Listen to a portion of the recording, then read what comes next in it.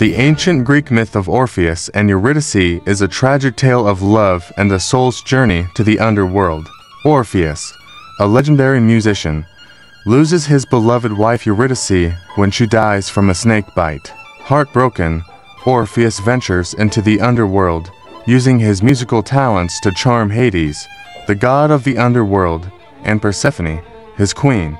Moved by his music, they agree to let Eurydice's soul return to the living world under one condition.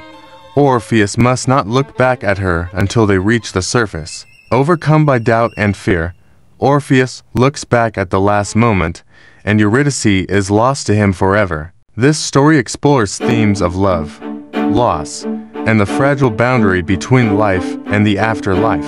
In 1907, Dr. Duncan MacDougall conducted a controversial experiment to determine whether the human soul has mass.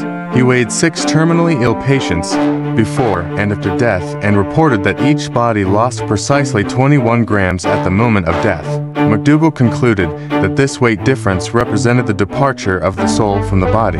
While his experiment has been widely criticized for its methodology and small sample size, the idea that the soul has a measurable weight continues to captivate the imagination and has become part of popular culture, symbolizing the mystery of life and death. Modern neuroscience explores consciousness, an emergent property of brain activity, with researchers studying how neural networks give rise to self-awareness. The hard problem of consciousness explaining how subjective experiences arise from physical processes remains one of the greatest challenges in science, leading some to speculate that consciousness may have a non-material dimension, akin to the soul. One of the most intriguing aspects of consciousness research is the phenomenon of near-death experiences NDS, where individuals report vivid experiences of leaving their bodies, seeing light, or encountering spiritual beings.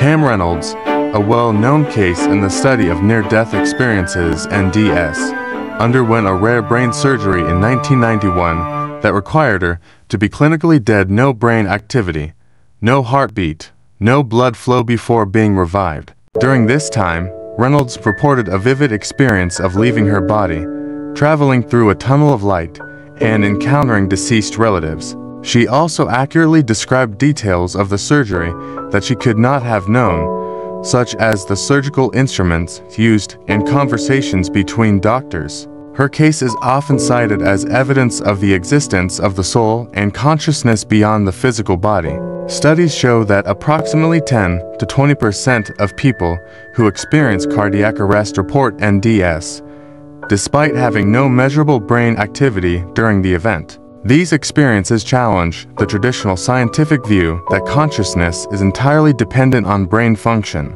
Another fascinating area is quantum consciousness theories, such as those proposed by physicist Roger Penrose and anesthesiologist Stuart Hameroff, who suggest that consciousness may be rooted in quantum processes within the brain, potentially linking it to the fundamental nature of the universe.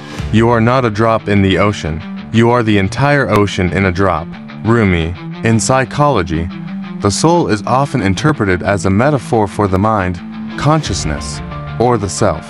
Carl Jung introduced the concept of the collective unconscious, suggesting that the soul is connected to a universal reservoir of shared human experiences and archetypes.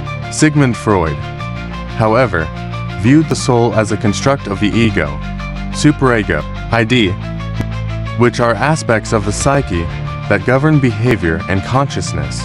More contemporary psychological theories focus on the self as the complex interplay of cognitive processes, emotions, and experiences. The notion of the soul in psychology is often linked to questions of identity, morality, and purpose, with many psychologists arguing that these elements are not supernatural but deeply rooted in human cognition. Philosophers have long debated the nature of the soul, often challenging religious interpretations. Plato posited that the soul, immortal and pre-exists before inhabiting a physical body. He argued that the soul is divided into three parts, reason, spirit, and appetite, with reason being the highest part, guiding the other two.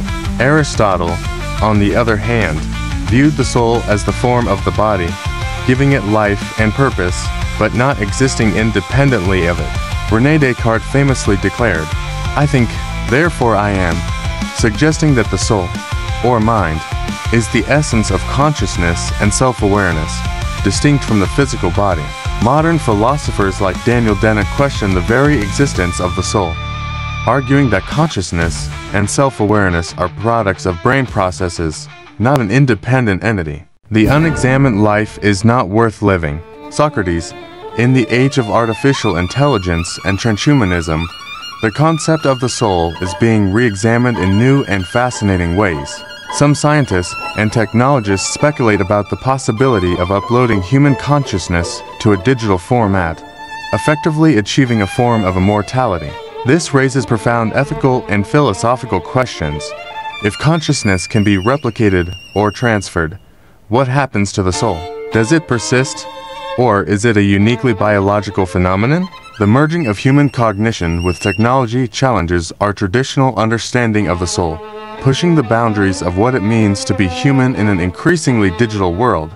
In ancient Egyptian mythology, the soul, or Ka, undergoes a journey after death, seeking to enter the afterlife. The Book of the Dead is a collection of spells and rituals designed to guide the soul through the challenges it faces in the afterlife. One of the most famous stories from this tradition is the weighing of the heart ceremony. After death, the soul's heart is weighed against the feather of Maat, the goddess of truth and justice.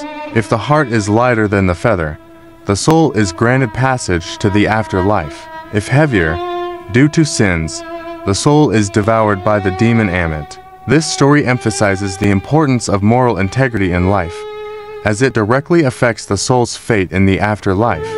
The soul has been a central theme in literature, symbolizing the inner essence and moral compass of characters. In Goethe's Faust, the protagonist sells his soul to the devil in exchange for knowledge and worldly pleasures, exploring the conflict between spiritual integrity and earthly desires. William Shakespeare often used the concept of the soul to delve into themes of guilt, redemption, and the human condition, as seen in Hamlet and Macbeth. The soul's journey, struggle, and salvation, also central themes in Dante Alighieri's Divine Comedy, where the poet describes the soul's path through hell, purgatory, and heaven. These literary works use the soul as a metaphor for human struggles, ethical dilemmas, and a quest for meaning. In various religious traditions, the soul is considered the eternal and divine essence of a being. In Christianity, the soul is believed to be created by God, and its destiny lies in eternal communion with God or separation from Him in the afterlife. Hinduism views the soul, or Atman, as a part of the universal soul, Brahman, which undergoes cycles of birth and rebirth reincarnation until it achieves liberation moksha. The Islamic tradition believes that the soul, ruh, is a divine breath given by Allah, and it will be judged after death based on one's deeds. In Buddhism, while the concept of a permanent soul is rejected, the notion of consciousness or the self is seen as a transient collection of experiences that contribute to the cycle of suffering and rebirth. These religious perspectives emphasize the soul's connection to a higher power and its role in determining the fate of individuals beyond physical death.